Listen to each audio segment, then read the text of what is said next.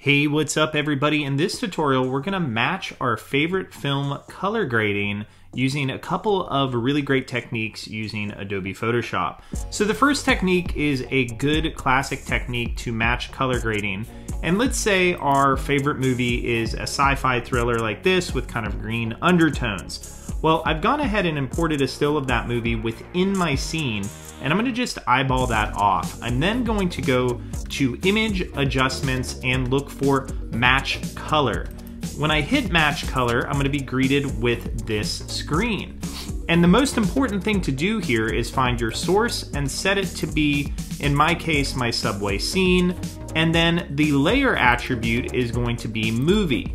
As soon as you do that, it's going to take the color grading from your movie clip and match it to your original image. Now, this is all fine and great, but it's a destructive technique. So if I were to go back from this, it would be almost impossible. I'd have to re-import my image and work a little bit harder. So let's go ahead and undo this a little bit.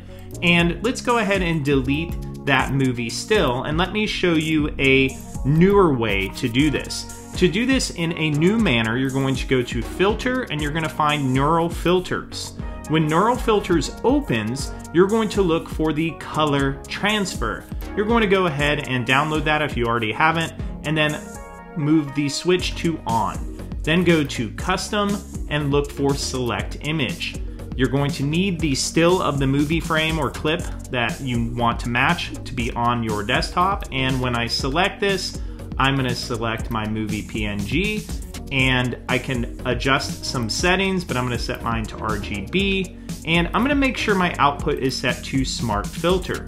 When I hit OK, you'll now see I have matched color grading. The best part about it is if I double click on Neural Filters again, I could go in and work on some of my adjustments, hit OK, and it's going to update that option for me. So there you have it, everybody. This is a great way to match your favorite movie color grading to your own artwork. Have fun creating.